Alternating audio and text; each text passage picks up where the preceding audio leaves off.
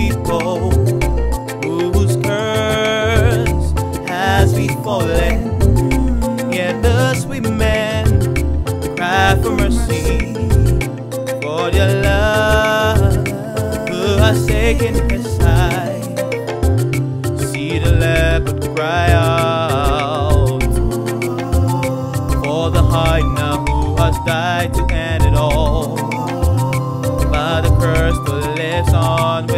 The blood of the hyena flowing in the leopard. So they cry, purify. So they cry, pacify. They cry, sanctify and glorify. So they cry, purify. So they cry, pacify. They cry, sanctify and glorify.